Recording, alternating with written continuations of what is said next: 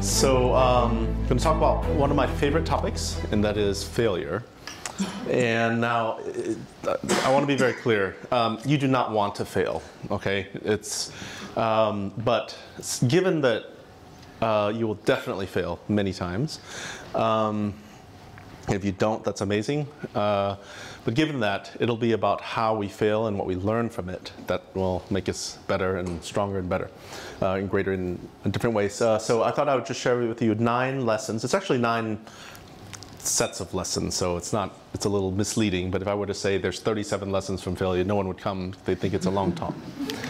So, um, so I, I, think I'm going to skip through this because I think you already know uh, about me. I was born in Vietnam, came to the U.S. when I was a little kid, uh, son of refugees, studied and uh, went to school there, and I dropped out of MIT to start my first company, and then sold it.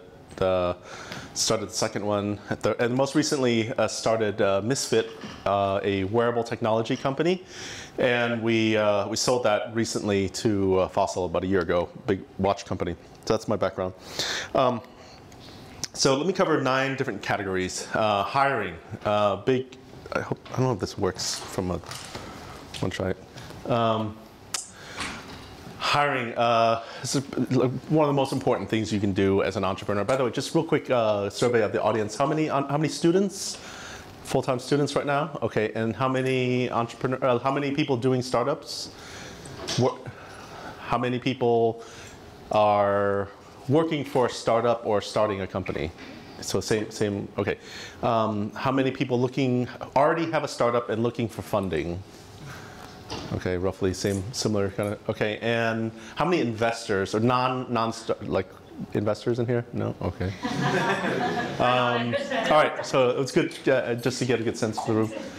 Um, so I'm going to try to be as specific, and hopefully you don't find it too prescriptive, but I, have always found that uh, conference talks are usually incredibly useless and boring. So I'm going to try not to be either one and try to be as useful as possible. So if it comes off as prescriptive, I'm sorry, but I'm just uh, going to share with you stuff that I've learned. So, um, so So hiring in desperation, I feel like I've learned. I've um, I'm trying to turn up the volume here. Uh, hmm. Oh, maybe it's on maximum already. Yeah. You think it's on maximum? Almost probably. Because I do have sound on here. No? Do you want me to turn it completely yeah, off? Uh, uh, no, to crank up the sound. Crank up the sound, okay. Yeah. Let me just connect it to the console. Okay. Even better. Mm -hmm. Sorry, technical challenges here.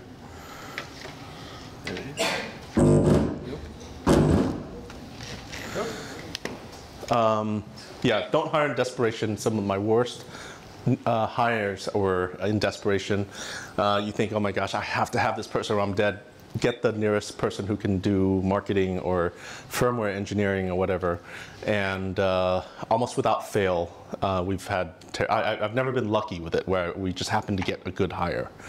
Um, so don't do it. Um, hiring for strength instead of a lack of weaknesses very important. Okay, it's very easy to say, well, there's nothing wrong with this person, so yeah, we'll take them.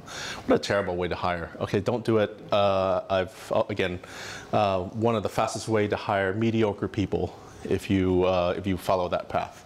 Uh, so hire for, for enormous strength, someone who's just ridiculously good at something, instead of um, uh, the fact that they just not horrible at anything. Uh, and probably one of the, my favorite lessons I've learned from uh, my uh, one of our mentors, John Sculley, only work with people you like. Uh, that was something he told us uh, early on, and I always I never took it seriously until a few years into Misfit, a couple years in, because I thought, well, you're John Sculley, everybody wants to work with you. Um, so uh, you know, so you can say that.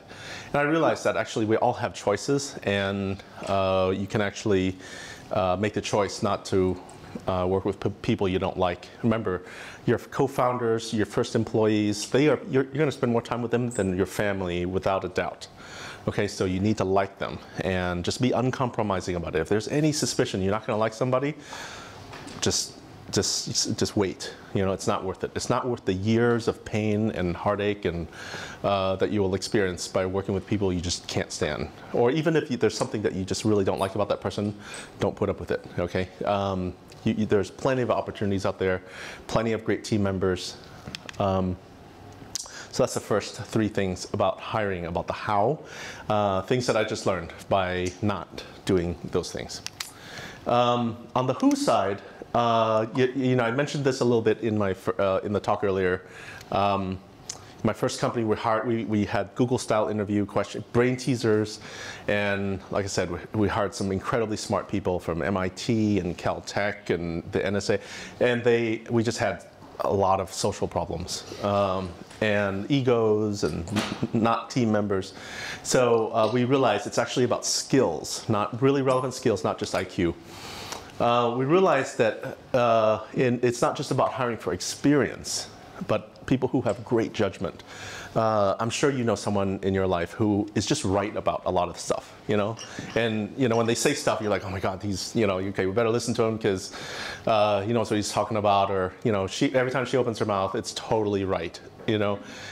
Those are, these are people with great judgment, uh, or uh, maybe you could call it great wisdom. Uh, and so, and they don't always come with a lot of experience. Sometimes it's tied to experience, but not always. Okay, and um, and I'll give you a quick tip on how to interview for some of this in just a bit. Um, and finally, cultural fit above all. Finding someone who really fits in with the crew uh, is so important, and because defining having a very strong sense of culture early um, it's hard for if you're a first-time entrepreneur because you haven't really figured out what you what works and what doesn't. It's okay. Um, take a shot at something in terms of what you think is important to you. Okay, but keep it to like one or two things and then build on that. It's okay that your culture will evolve. It should evolve as you as you grow. Um, but uh, yeah, the this fit is is is really important, and um, I, uh, it's something, it took me a couple of startups to learn to not compromise on. Um, uh, it's, uh, and I'll get into a little bit more in just a bit. One of my favorite quotes from a, a favorite philosopher. The, the problem with the world is that fools and fanatics are always so certain of themselves and wiser people are so full of doubts. Isn't that so true? You know, um, in my previous company, you know, we had um, you know, it was always the loud people who got listened to. I couldn't stand it, you know? It was always the brilliant introverts who would sit there in the corner, never say anything, and they were always the ones who were right, you know? And, uh, and so at Misfit, we always tried to have a, build a culture around listening, just, all right, everybody shut up, uh, let's listen to the introverts, you know? And it, I mean, we didn't always do that, but the idea was uh, um, having that open heart to listen to folks who aren't always the loudest.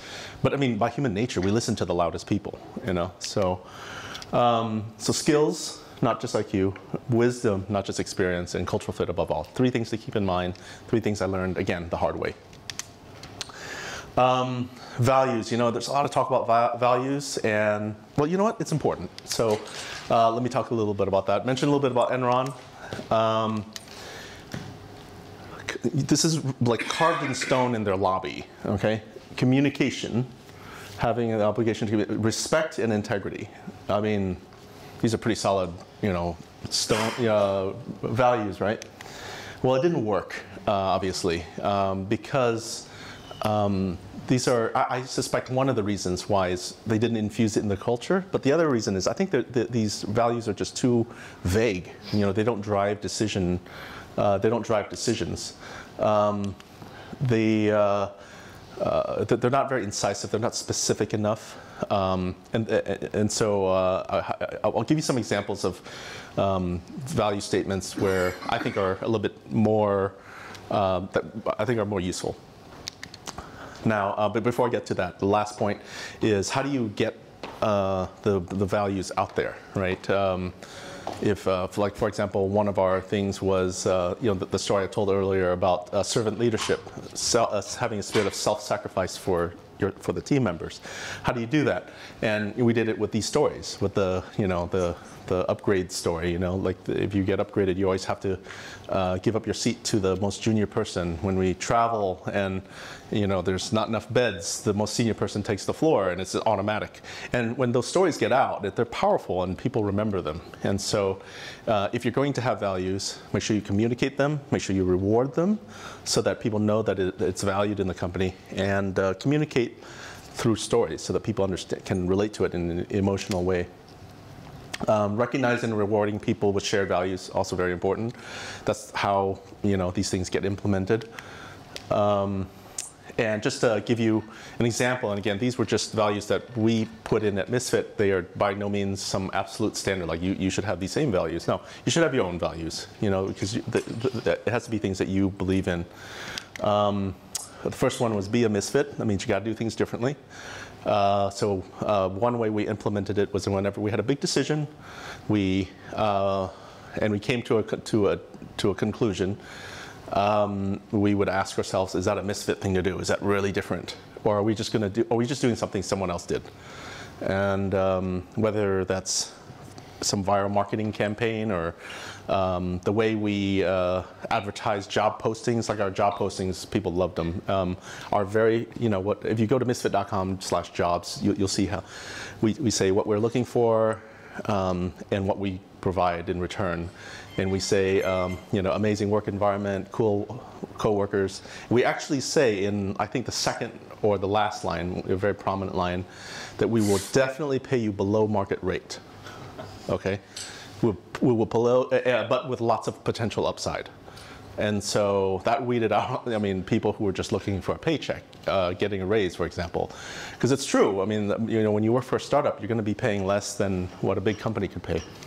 Um, so that was pretty misfit thing to do. Being thoughtful, thinking before you talk, so that, to, again, to try to counteract that, you know, the loud person gets heard culture. Um, uh, thinking through code, if you're going to write code, document it well so that you could save the next person time. So that was very important for us. Uh, one of my favorite ones uh, was do more with less. So whatever you do, whether it's a new feature or a new thing, make sure that it can um, that uh, you, can perform more than one function, for example, or um, or just take out the feature. So we had this magnet for the Shine. The Shine was the activity tracker that we made, and it could clip and clip on your shirt, and you could wear it that way with the magnet. But the magnet could also be used to remove the battery. You know, it had a third use. Actually, it, could, it was used to close the box that the product came in because we put a piece of metal there. And uh, so, you know, doing more with less. And that was one example there. Um, and this is an important value because it's not just about spending less money. It's actually being more thoughtful about design, about, and also about how you spend money and expend resources. So this became a very core value to Misfit. Uh, you know, again, like I said, it's not about being cheap. It's about being smart about what, what your design. And finally, be a servant leader. This was probably our most controversial uh, value. A lot, of, it turned off a lot of people. It's fine, uh, but the people who it, uh, who got excited about it really stuck with us for a long time because they're like, yes, I want to be a part of a company where uh, other people will be uh, self-sacrificing because I'm going to do the same, and I hope others will be, be, be that way as well. And you know, when you have a whole collect, collection of people who, who are like that, it works. So uh, you know, the, very, the fairly specific uh, um, values, and it took us, you know, uh, we had the first two, and then we added the third one like two years in, and then no, we had the first two and the third one, and the fourth one, and then we added the third one uh, a few years in uh, into the company. Now, uh, what do you do when you find an amazingly high-performing person who doesn't uh, share your values, right? Uh, we had an amazing, uh, like a really, like a great sales guy, and just totally was not a servant leader. I Expected everybody to serve him because he was the bomb. He was an amazing sales guy. Um, well, according to Jack Welch, um, you, the, what you do with uh, the, the, other folks are fairly obvious, but people who deliver on their commitments, deliver on their numbers, don't show your values, seek them out and remove them. Wow, you know, and that sounds like, wow, what a hard decision. Actually, it should be a very easy decision because they, um, they, these folks have the potential to have the most influence in your organization and will change the culture of your organization most easily because they're, they could easily garner respect. So, um, I totally, you know, so it was actually a very easy decision to let the, the sales guy go. Um, so uh, yeah, three points there on, uh, on culture, creating values that drive decisions, reinforce them with stories, and re reward based on these values. Uh, this is very closely tied to culture. Okay, there's another term, kind of a vague term that gets thrown around a lot. So let's examine what that actually means. The customs and beliefs, art, way of life, and social organization of a particular country or group the beliefs and attitudes of something that people in a particular group or organization share. Super important, okay? Um, and there's, um, uh, you know, we can talk about values until we're blue in the face, but uh, pardon the, the, the, pun, but culture trumps values. Um, and so there's actually a book uh, on this, or an article that has some studies on, on this. It seems very, uh, again, uh, almost um, fluffy, but uh, there are studies about why this is very important. Um, setting the culture early uh, is very important. Um, the first 50 people pretty much define, once, once you're at, at about 50 people, your company's not going to really change in really fundamental ways unless there's some radical moves that you make. Um, again, this is um, hiring and firing based on culture, not just performance. Talked about that just, just a bit ago. And finally, my, one of my favorite things that uh, John uh, has talked to me about uh, early on, you know, it's not about work-life uh, balance. There's a lot of, you know, a lot of people ask about that. It's really about work-life integration. And uh, um, it's, uh, you know, when you're doing a startup, it's, it's an all-in kind of thing, you know uh, expecting to have work-life balance is just not, it's not, I, I, don't think it's a really reasonable thing to, does it mean you're just working all the time? No. But does that mean it really becomes an in, intrinsic part of your life, this thing that you do, this startup, this baby? Yes. Um, all right, people. Okay, uh, are you guys familiar with this photograph, what, what this is? Does anyone know what it is?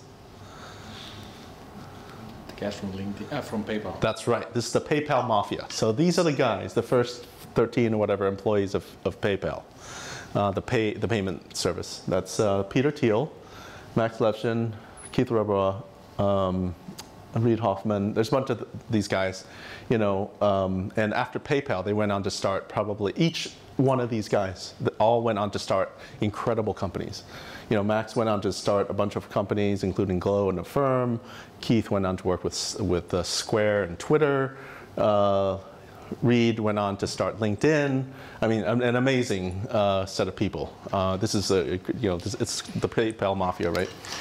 Um, so people, uh, it's about, um, I, I, think there's like no greater joy. You know, people say, what's the coolest thing about doing a startup? I think one of my favorite things is watching people grow.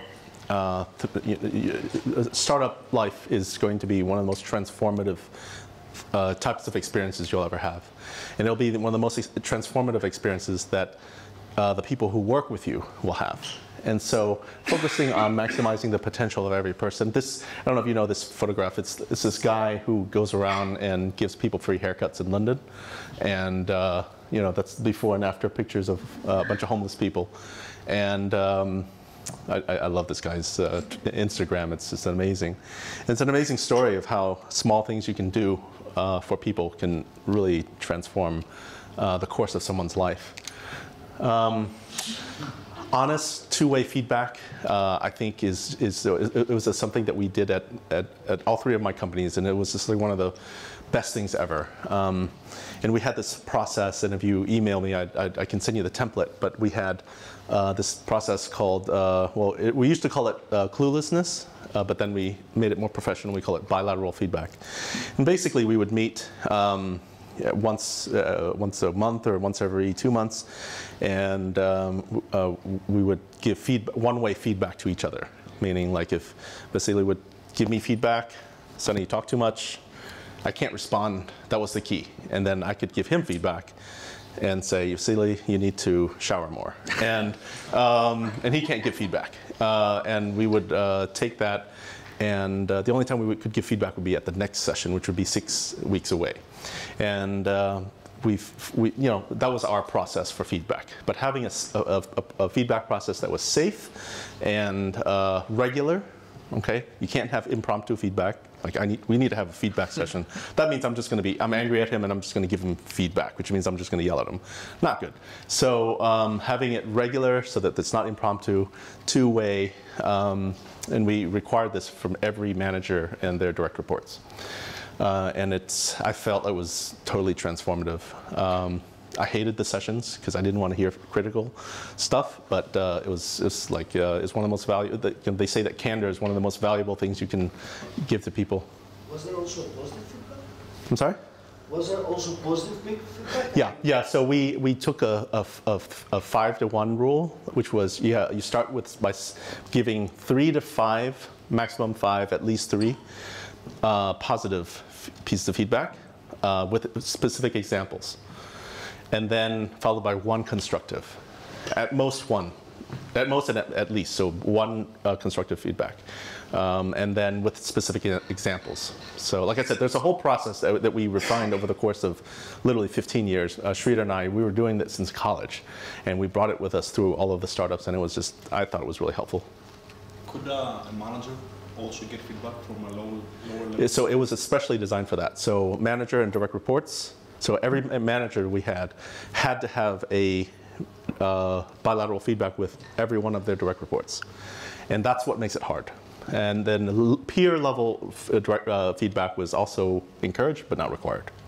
So the VP of engineering could have feedback session with a VP of HR or that kind of thing. Um, you know, letting people fail, uh, one of the defining things of ha- doing a startup in Silicon Valley, it's very important that uh, people are able to do that. Uh, having a culture, so at, at Misfit we threatened, but we never actually acted on it, but we said if you didn't fail significantly on something within your first year, you would, uh, you'd be terminated. Um, we never followed through with that, but you know, it was kind of a cool thing to say at orientation. Um, but we, we were trying to get the point across that this was something that we, we, we valued. Um, and so as a manager, uh, you had a, almost this requirement to produce, uh, allow people to have a situation where they could potentially fail, and, but you could catch them. Uh, so um, one of my favorite quotes from another great mentor, uh, also investor, early investor at, at Misfit, uh, people are usually limited. Sorry. People are usually limited by what they attempt, not by what they are capable of. So this was apparently a Taiwanese national championship little league basketball game, and uh, so um, maximizing. So what? So what's important about people development and team, right? Uh, maximizing the potential of every person. So investing in training. Like what startup talks about training? Right? It's about hiring the best people. It's like, well, no. Sometimes you'll get like pretty good people, but amazing cultural fit. But then training them to get them to be more productive and more effective, amazing investment. Okay, and it's something that I hear, I hardly ever hear startups talk about. Training programs. It's like something you do in a big corporate. Not true. Um, feedback and letting people fail. All right. I know I'm going through this fast. Any questions so far? Some great questions so far. Yep. All right, feel free to interrupt, okay? This is uh, supposed to be interactive. Um, the environment, okay, so um, I think the secret is about making work not feel like work. Um, and then that is, uh, and so how do you do that? Um, honestly, I, I don't have like some guiding principles or anything, but I'll share with you how we did it at Misfit. And I think we succeeded to some extent. I think we failed in a number of ways, but something, this is the early team, early Misfit team. I think one of the most important things is uh, is um, giving people work that gives them a sense of purpose. You know that it's really that the work is meaningful. Uh, if work is meaningful, purposeful, purposeful work, um, it doesn't feel like work. It does. It's it's going to be um, something that. Uh, will carry you through the terrible failures and the, the troughs that you will go through as a startup. When you don't get that customer, when you lose that key employee, when you don't get the term sheet is terrible, or you don't get term sheets and you, you're almost out of money, or the partnership falls apart because we said something stupid. Um, or you know, like any, oh, that's going to happen, right? Or we get sued, you know, big patent lawsuit. Um, but you know, when you have work that gives you a sense of purpose, it helps you power through that, helps your teams power through it. Um, working, working with people you like, super important. Uh, already talked about that. Um, and finally, don't laugh.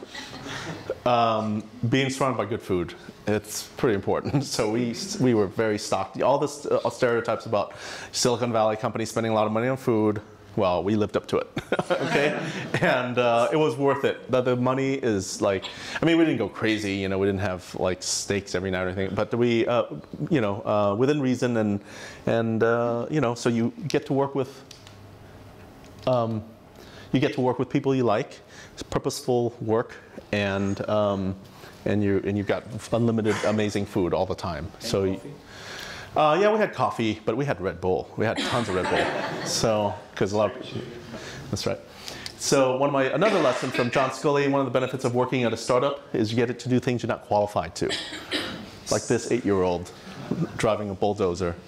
Um, and uh, it's really true, you know, like who, what 24-year-old gets to be VP of engineering of something, you know? I mean, the titles are kind of fake anyways when you're early on, but, you know, a lot of them, they, they will stay with that, uh, those titles you, you'll keep for a long time. And so it's an amazing opportunity because you get to do things you're not qualified for. That's, you know, that's one of the benefits of a startup, right? Um, all right, let's talk about leadership. Uh, so far, any, like I said, feel free to interrupt. Know I'm going through this pretty fast. Uh, one of my favorite quotes uh, about lead, about inspiration, right? If you want to build a ship, don't drum up don't drum up the men to gather wood, divide the work, and give orders. Instead, teach them to yearn for the vast and endless sea. Um, again, it's about purpose at work. Um, when you lack that, it's going to be a, like no money, no no pep talks. Uh, none of that can can can uh, overcome uh, lack of uh, purpose at work. Um, but when it comes to leadership, you know, a few tips that I've learned over the years. Uh, having strong opinions loosely held. You're going to have non-negotiables about what you believe in. There should be very few of those. Okay, I, I my opinion. Um, and uh, and then pretty much I think everything else is negotiable. You know. Um, eternal words of Groucho Marx. Those are my principles, and if you don't like them, well, I have others. So this is uh, it's. Uh, um, yeah. So uh, eat last, fly coach. You know, staying lean is one thing, right? Um, and having this mentality of uh, of uh, uh, of you know uh, that you don't have to be at the head of the line. In fact, that being at the end of the line, being the last, uh, is in fact uh, the coolest place to be because that's where you get to serve everybody else. That that is like if you can instill that kind of sense in the company that the first that the last will be first uh, kind of thing. Um, it, it'll it's it's a I think it's it helps you sustain. Uh, this, uh, this kind of self-sacrificial culture for a long time. You know, look, if Obama can, you know, if if he can be in coach, you know, uh, apparently Bill Gates flew coach uh, like for years. Um, uh, if Warren Buffett can still eat McDonald's, you know, then well, you know, then, then we all can as well. Um, st- something I learned, uh, didn't learn fast enough, but uh, standing up for what you believe. Um, you know, I think early on in my career, I often deferred to kind of people with more experience. And sometimes it worked out right, but uh, there were definitely times when in my gut I knew that uh, there was a, the direction was wrong, and I didn't speak up. I didn't stand up for what I believed in. And uh, I, I regret it. I hate to say it. You know, people say life with no regrets. Well, it's not true. Sometimes there, there's stupid things you do and you wish you wouldn't have done them. And uh, Vinod used to told me once, and I, it's s- stuck with me for a long time, that the regret that comes from doing something you shouldn't have is temporary, but the regret that comes from not doing something you should have is inconsolable, and it's really it's it's very true. Um, so uh, have strong opinions, loosely held. Eat last, fly coach, stand up for what you believe. Product. We talked a little bit about this uh, this morning, so I'll go through this quickly. But you know, it's about thinking about the user first. It's not about asking, doing fo- endless focus groups and asking people to do your job as a product designer. About the previous uh, thing that you said, stand up for what uh, you believe. Yes. Uh, how can you make sure you're not being toxic? Um, I'm sorry. How can you make sure, uh, how can you define the line between being toxic and uh, standing up for what you believe? The line between toxic, uh, uh, uh, Um, Stubborn maybe? being stubborn. stubborn, Uh, yeah, yeah. Um. Oops. 30 minute marks. All right. Um, let me sit.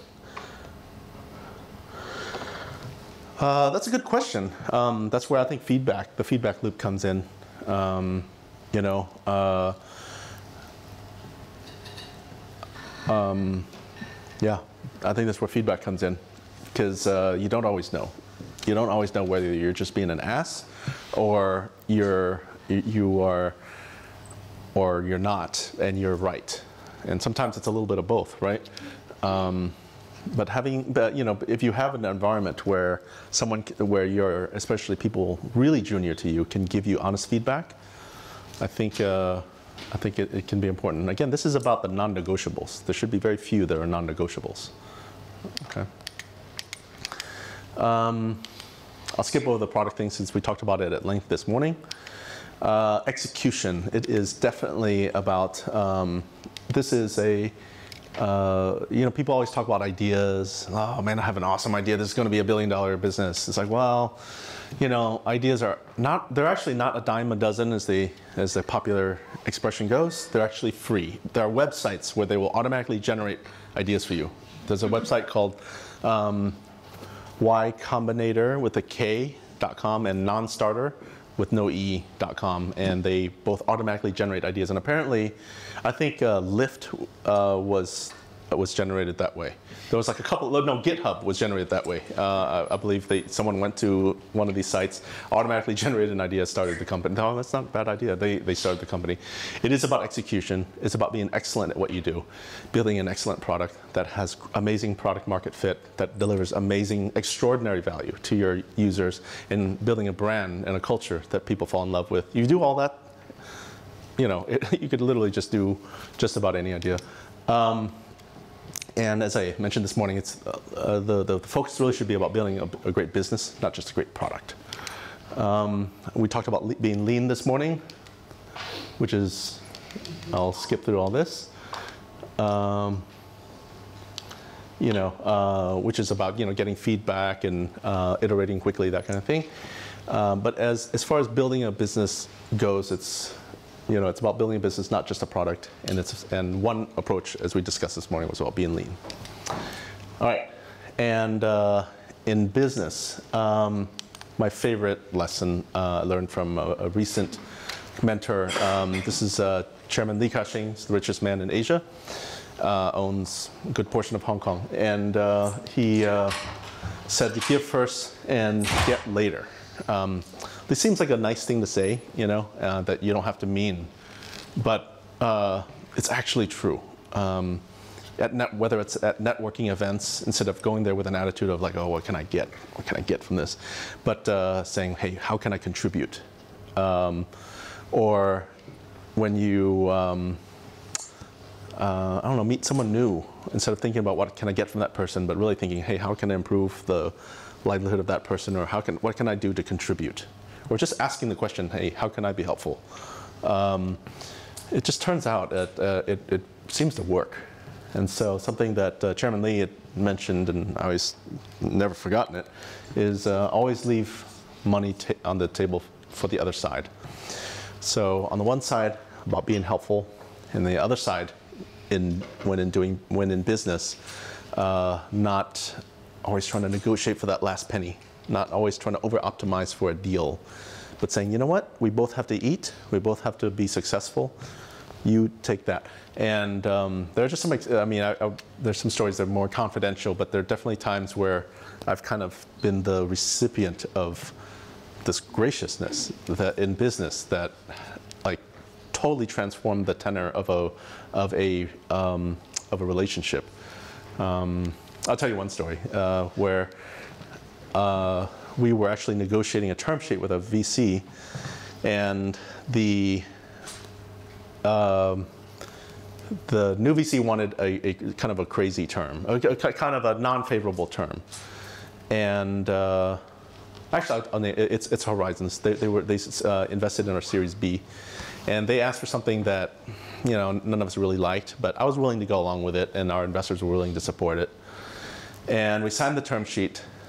We um, with this term, and we still didn't feel good about it. We're just like, okay, fine. But you know, they had every right to execute on the on the deal as is.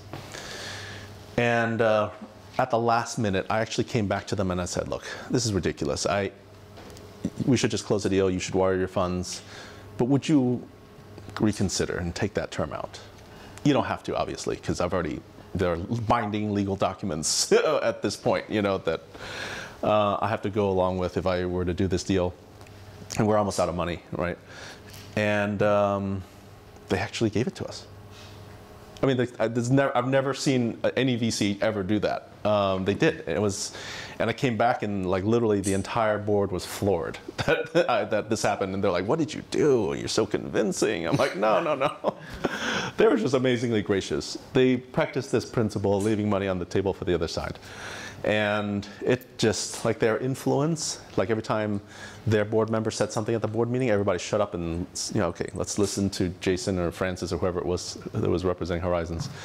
And uh, the influence that that got them, the credibility, just, you know, priceless.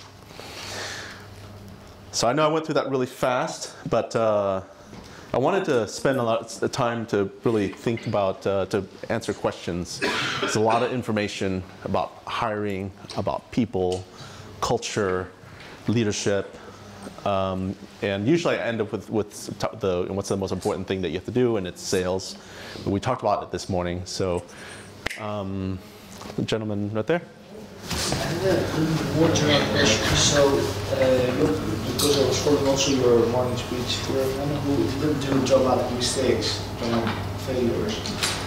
But is there any sample of information of failures you followed in order to acquire this experience for your personal interest? Um, so were there failures that we had, like concrete failures that that? I mean, uh, was there any? Because I remember it's coming from a quote that smart people are learning from their mistakes, but more intelligent people learning from the mistakes of other people. Yep, yep. Did you uh, follow this uh, philosophy in order to um, reduce your mistakes? You know, I mean, yeah, we. Um, I have some examples of where, where that happened, but I think um, learning from your own mistakes are very are probably the most impactful.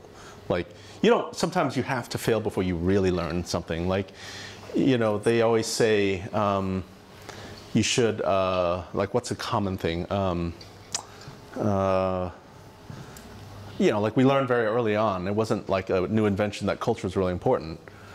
But uh, we should really hire that guy. He was an amazing salesperson. I'm sure we can change him. Right? When was last time we heard that? And um, so we fell for it. And uh, we didn't listen to conventional wisdom. And he nearly wrecked the company you know, because everybody else started to say, well, he's, you know, like I, maybe I should be like that, and you know, um, yeah. So that was that was that, that's an example of where we didn't listen to, to we had to learn, like, you know, because we knew that you shouldn't hire people who don't match with you in terms of culture, but we compromised, um, and so that was one of those things where we had to learn from experience. And now it's like very easy to like I, I, that's not even an easy hard decision anymore. My question is about equity, and I'm curious hmm. to find out how did you decide how to split equity at the early stages, and down the line when you started raising funds, how did that uh, change? Did you make any mistakes along the way?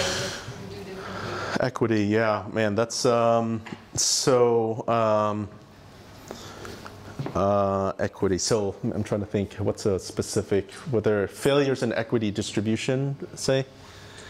How did you, when you had several members of the team, like how did you decide to get so much? Yeah. Um, I don't know if there's a really good algorithm for that. Um, and you're bound to make mistakes. I mean, the number of startups I know where they're like one founder runs off with a ton of equity and then you have to solve it because now they, they don't want to work together but then you have to solve it or else they won't get any money. It's almost like this prisoner's dilemma kind of thing, right? Um, and um, so I, I would just say one guiding principle is just be really careful about choosing your founder. My general um, recommended bar is unless you've known someone for at least five years. Sounds ridiculous. Sorry, I just five years, uh, and you've gone through a difficult time with them, and and it was a good and you good outcome. Then consider them for a founder, you know, um, or get as close to that as possible. Uh, Sridhar and I have been to, through ridiculous, terrible times together. Ran out of money, paid salaries on credit cards, and then ran out of credit limit. You know, um, trying to float our first, our second company together, which and then we ended up doing really doing pretty well for, with that company. Man, he's ideal founder material, you know. Um, but it's it's hard, you know, when you're doing your first startup. But just take that extra time to do that. Um, in terms of equity distribution between founders, um, I actually don't like symmetric splits because, uh, and actually for my second company, I insisted on an asymmetric split where, the, where Sridhar got more than me, a little bit more, so that the buck stops with somebody. So I, I kind of encourage non-symmetric splits. I don't think there's a obvious, there's a, I don't know that, I doubt that's a good, the best, of a best practice. Um, reserving uh, good chunks of equity for early employees, there are, there are kind of uh, some best practices for that. You know, uh, 10% uh, employee stock option pools, pretty common, and refreshing that over time. I love having refresh. I, so one of the things I like to do is I like to refresh it post financing so that uh, investors have to buy into it as well, and that it's not just common shareholders have to eat everything. Usually they don't agree to that, but if they're really excited about you, they'll agree to it. So. Um, uh, let me get that guy since we talked earlier. Yep. Um, so most of the participants here in this event are like coming from engineering background. Hmm. I come from managerial background. Uh, where do you think uh, someone from like business administration has an edge, or to put it better, where is it? What field of entrepreneurship is it better for a manager? Because engineers have a technical profile and like they can make their own stuff, Mm-hmm. while bus- like So what? Yeah. What? Uh, what's a good place for an MBA? Right? Are, are, are we? Are us? Are, are, us MBAs useful? right? Uh, where can we add the most value? Great question. Um, and you'll see uh, kind of. Um, uh, prejudices on both sides. Some people like, oh, I only want a technical co-founder, or no, I only want strong business founders, right? Um, I think uh, in the early start, early stage context, um, trade skills are important. Nice to have, like engineering, design, sales, whatever. Um, but over time, and it happens very quickly, I believe uh, I, I go back to what I mentioned this morning, and that is the most important role is sales. And so, whether you're in engineering, design, or or sales, whatever, you're going to be generally trying to convince people to do stuff. That's mainly your role. You know, if if a hundred people in, you're still the main coder. You know, it's probably not a good idea, a good use of your time. You probably you should be spending your time recruiting the top coders and recruiting the top designers, or convincing a, an amazing team to work with you. And so, um, and that skill isn't necessarily exclusive, uh, you know, uh, mutually exclusive with engineering skills or managerial skills, whatnot. It's something that uh, you you should, you know, uh, th- that, that you'll learn uh, because you'll basically have to do it whether you like it or not. Um, this gentleman. Yeah, uh, so I imagine when you go in this this kind of business, it's, it's kind of hard to imagine you will compete with uh, Apple, Samsung, Nike. Do you go in there in the mindset that at some point you will be that big that you will sell? So um, you, you go into a venture thinking you're going to sell it. yeah. You trying to overtake them. So I think the main, uh, I think a, a, a, a good mentality to maintain is uh, to build a great company, a great standalone company. If you build a company for acquisition, that's uh, what if you don't get acquired? you know, you're screwed, and all these people that you hired and convinced to leave their previous lives to join you are screwed too. You know, that's not so good. So, and also the most valuable companies to be acquired are the strongest standalone companies. You know, strong cash flow, strong product base, strong IP portfolio, strong team, that's very valuable for any company. I mean, those the standalone companies are, I think, the most valuable ones. Again, I mean, I'm just an entrepreneur. I'm not a VC, so maybe VCs in, uh, in the audience would disagree with me. But uh, building for an acquisition, I think you're just asking for trouble. And it seems kind of a narrow thing to do, you know. Uh, now, uh, should I build a company, not get acquired, and like I want to be the next Apple? You could, you know. That's a choice you can make. Um, you know, but I, I can't give specific advice on that. But the VCs are pushing for an exit strategy. So Yep. e- even if you don't have a plan like that, you know, it seems like you're forced to come up with an idea. Yeah, I, I don't know. Like the best VCs that I know, they'd never ask me that. What's your exit strategy? I'm like, I don't know. Build a big ass company. I mean, like, the, uh, I want to build an incredibly valuable company, and I don't know. Maybe we'll go IPO. Maybe Google will buy us. Maybe we'll overtake Google. I don't know. But like, Yeah, but usually these are the guys that they come in afterwards. So there's, uh, think at the first layer of the angels or uh, lower tier VCs that you can have access during the first stages. They're not like that, and and they're hungry for the success. if, if, if an angel is, is needing and hungry for a financial exit, probably not the right kind of angel, you know? Okay. I mean, right? I mean, like go, go invest in gold or, or like a, or prosper or go go to Vegas. You know, you probably your, your your odds at Vegas are definitely better than investing in a startup. Um, invest because you believe in me. Invest because you believe in know whatever I'm, I'm, my service or product is in this grand vision, this ridiculous vision that wouldn't come true unless I had your help. You know, invest because you believe in that. Money will come because we want to build a great company. Um, that's what I tell folks. I. Sometimes it works. So, um, yep. Uh, you started Misfit when there were already two big companies doing wearables in the same space. I you had several. No, there were. So when we started. Okay. Oh, I'm sorry, I interrupted you. No, no. The, if, if you were, I thought you were like already. Uh, they were already uh, big Competitors? So, so like you know, the question is, what do we need another? Uh, Yeah. How do you address that? So uh, I have two things to respond to on that. Um, first is uh, just a factual correction. The, there were uh, 18 competitors when we started the company. Okay. When we released the product, there were north of 40. Okay. And about a year into the first product release, we had around 80 to 100. And then by the time we exited, there were about 250 competitors, unique competitors with unique products, companies, 250 companies. so it was even worse. far worse, like an order of magnitude worse than what you were describing. Okay, Um, but it just turns out that most companies suck. Okay, uh, most teams suck, and they're not hardcore. They're not, you know, the teams don't have coherent cultures. Uh, they're either incompetent or, inco- or, or, or incoherent cultures, or they're very good at one thing but not a bunch of things. Um, or they're not well backed, they just run out of money, or they have a, a non-solid product vision, or they don't have product insight into something. Like, they just, I don't know, just, most of them aren't that good. Um, but there were a select few, like Fitbit, Jawbone, those were good. They were strong competitors, really good. Garmin, you know, Xiaomi, and those are the ones that you worry about. And you and we thought of them in terms of the teams. Man, what's so good about those? Because you're really it's team against team. You know, um, it's not just company against company. So we thought about like what's so good about that team that man we just got to be better or else they're going to wipe us out.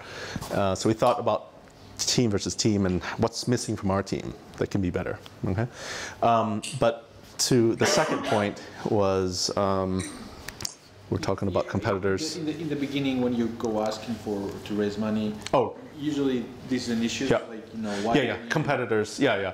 And so, um, so I mean, highlighting how, how can you get a better team if you don't have the resources to, to pay them? So Yeah. Um, I think having a very clear point of view and a clear point of differentiation, a differentiation, whatever that is, um, helps. Okay, so um, and that leads to my second point. I remember my second point now. That was uh, um, so one thing I learned is, at least for me, what I want to do is unless there's an obvious differentiator, technologically, business model, whatever, I don't really want to get involved in a company that doesn't have that. And at Misfit, you know, the, in, because we lacked that differentiation in a number of areas, we suffered and we had to work that much harder. Um, and design was not enough. design was not enough. Design helped, you know, but man, we just had to work really hard. We had to raise a boatload of money. We had to raise and raise it fast, and we had to get super aggressive with sales, and we had to um, create a uh, an operational infrastructure that was much more efficient. So we did a bunch of stuff in Asia, so we grew faster. We had uh, from, the, from from when we started to three and a half years later when we sold, we had grew to 240 people. The only way we, we could afford that was by and and to be able to do that was doing it in Asia. Um, and so we just had to do all of that stuff because we didn't have because there were certain aspects of our business model and product that wasn't sufficiently differentiated. It wasn't that we didn't have any differentiation. We did. We had, I think, better design than anyone else out there. We had better battery life than anyone else out there. But I think just those two is not that's not enough. Um, we had to also do get all that other stuff.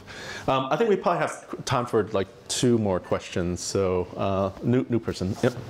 Uh, when it comes to the very early stages of a startup, when you have to approach a founder and uh, you have to make a presentation of your own product, Yep. what are the top uh, mistakes you have to avoid in this When critical period? uh, being a founder or You are a, uh, you want you want to make a startup, you have your own product and you want to find the founder. Investor. Yeah, investor. Investor. Oh, oh, right. Um, okay, yeah, fundraising. Yeah, man, that's like there's like a whole talk around that, right? Um, but uh, and so uh, earlier this morning, I mentioned one thing is don't send too much information, just just enough to get people excited, and then um, get it um, set up a situation where they're pitching you, not the other way around. Because if you pitch them, chances are one in 500, just like the other guy said, you know. Um, and so being able to construct that framework where they are coming to you. Um, I don't have a lot of specific advice on how to do that. There's like, I guess I do have a lot of specific advice. Most of it probably doesn't apply to you. Um, but think in that term. How, how do you get inbound interest?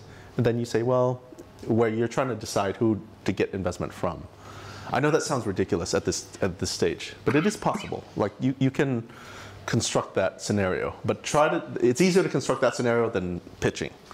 Okay, pitching is one in 500. If you are able to construct that scenario, the odds are maybe, I don't know, one in 10, which you know, 50 times better, right? So um, it's about creating intrigue. So uh, one mistake to avoid, uh, create intrigue is your main job, not to communicate information.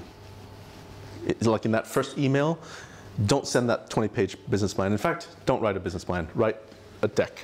You know, can, you know, and uh, and don't send the whole 30 slides. Send six, and uh, very short email. Bang, bang, bang. Points. Interested? Let me know. We're closing around soon. You know. Um, uh, mm, that seems to have worked better for me. Uh, other mistakes, uh, disclosing too much too early. Um, remember, as entrepreneurs versus uh, uh, investors, there is one thing we have that investors do not have. They've got money and power and connections, reputation, all that. So we're just little, uh, you know. Um, so what do we have that they don't have? Any thoughts? Inside information. Insights. Okay. What was that? Content. Okay. What, anything? What, what else do we as entrepreneurs have that investors don't have? That for sure. to make things. The ability to make things. Okay. Anything else? Passion. Okay. Now uh, there's a lot of passionate investors out there. Do you have a? Oh. Um, so um, the one thing we definitely have is information. Like before I meet Mr. Investor, he does not know what I know, right? He does not know what I'm going to tell him, right? He might know about my domain better than what I do, but I, he definitely does not know what I'm about to tell him. So don't tell him. Um, you know, the more, uh, so keep the information close to you. Uh, my, my thing, what I love to do is just being very guarded with the information and giving it as it's earned and really developing a relationship with the investor as opposed to saying, "Blah, here's my 30 page business plan. Surely there's something there that you like to invest in. That's not a very compelling, but you know, if we develop a relationship and you know, and you're like, oh, what else is there? Well, here, give you some more. Well, what? Oh, that's interesting. What's yeah? I'll give you some more and more, and then now we have a relationship. We have a communication. You're not just you know investor and you know uh, an entrepreneur. You're, you're you actually have a, a communication channel now. So using, does that make sense? Yeah. So that seems to have worked. Otherwise, you're just part of that one out of 500 odds, and th- that one out of 500 odds is probably the guy who did that, developed that relationship, and you know, and because the others didn't. Uh, one or two more questions. Yeah, gentleman in the back. Sure. Kind of combining this morning to now also about Yep. the timing right now about information. You had made a reference to there's a point where you could be at, a- uh, you know, not every VC or every, every, every seed or uh, funder is be for you, and you have the option yourself to then say no. You, you made a reference to it at the point where um, it's not always about asking and, and oh, great, big, powerful thinking, you help Yeah. us. Right. Can you, can you just maybe expand a little bit more on uh, maybe a situation where you had the opportunity, but you made a decision on culture or? or Yeah. So, um, look, it is non-trivial. Your first, uh, like, I, I, let me let me fast forward a little bit and then answer your question. So, it is very non-trivial to raise money. Okay, super hard. Venture capital is like it's like this crapshoot, you know, very hard. And especially if you're a first-time entrepreneur and you're doing the first round of financing, it is nearly impossible. It's very hard uh, to do it. So I don't, I don't want to make light of that. I don't want to make it think like, oh, if you just do these things, you will get financing for your startup. Not true. Okay, it's, it's very hard. Um, what I'm saying is you can make it less hard by having this framework of uh, being focused on creating inbound situations. Okay, um, you know we we did have that at, in my previous startups. Um, wasn't because we were good, but I think it was because we were we had very committed, very coherent culture around a team, and a, and a reasonably clear vision. Misfit's original vision was to create, uh, was to use uh, design to make technology beautiful or invisible. Okay, so uh, that was in, we were going to do wearables, body, home, and car. Wearables, smart home, connected car. That was our vision, was to insert technology invisibly and beautifully into people's lives to make it useful. And so we had a fairly clear kind of thing that we went after, and we had a team of like five people that were pretty good, and then we went after that. Um, and we picked investors based on cultural fit to a large extent because we knew we had a good team and that was what and so in, uh, focusing on your team that's the other thing a lot of times people focus on like the idea or just the market and you know the best investors invest in teams. I, I, actually most investors invest on, in teams and the best ones invest almost exclusively in teams. Like I know one, one of our investors basically said uh, that there's a set of people that they'll they're gonna they would invest in no matter what they did as long as th- those founders owned a certain percentage of the company then they would just invest um, they might be exaggerating you know I don't know maybe I'll find out but the uh, but some of the best investors invest in teams um, and so if you have a good team, you're going to get that. Um, let me throw out one litmus test in terms of selecting investors. So if you're in a, in a fortunate position where you, there are multiple investors who might be interested, uh, but this could apply to team members as well. Um, if you, uh, so you're deciding investor A or investor B, or investor A or not, or employee, key employee A or not, that might be a more relevant uh, metric. Imagine yourself in this situation. Imagine yourself in a situation where you have screwed up, where, where there was a terrible, the, the company's in a bad situation. And you're in a bad, the company's in a bad situation because you did something really stupid. Just brain freeze and you just, you know, you just really screwed up. Now, is the first thing that you do to say, man, how am I going to, how am I going to be able to tell Vasily that I did this really stupid thing, you know, or that, that I'm the cause of that, this terrible situation? Or is your first thought to call them up and say, man, I really screwed up. Okay, let's work and figure out how to get through this, you know?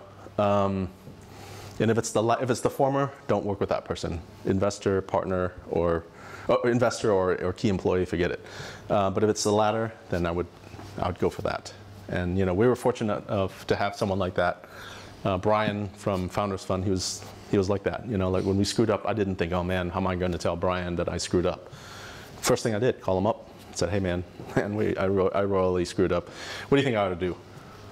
And he just and he and you know we brainstormed together. That's the kind of partner you want, right? All right, maybe one more. que- Let me let me see. Check on the time, and then uh, Maybe the last one. one la- one last question. Yep. Um, this lady here. Can I ask you, uh, Yep. did you use benchmarking to find out what the competitors were doing and make like a similar product, or you try to be more innovative and do? Oh, we totally did. Oh, we totally benchmarked them. So we, uh, I read, personally read nearly 5,000 reviews on Amazon. So of FuelBand, Fitbit, and Jawbone, and uh, Withings. 5,000 reviews. You know how that number on the bottom of Amazon goes one, two, three, dot, dot, dot, whatever? It went up to dot, dot, 173 pages for Fitbit. And I read every single one of them. Um, and that helped give me the, the product insights, get us as a team uh, insights into what to make and what not to make. Turns out that ugly- you know people want more beautiful products. They hate to charge. They want durable products that are waterproof. You know, th- th- there was it was very obvious actually. So if you're doing a consumer product, uh, that's one way to kind of get some immediate feedback or some get, get get you started is read Amazon reviews. I'm sure if there's a if you have an enterprise SaaS idea, you could go on Reddit forums maybe, or I don't know where you, but I'm sure there are ways, publicly available information that can give you that kind of feedback.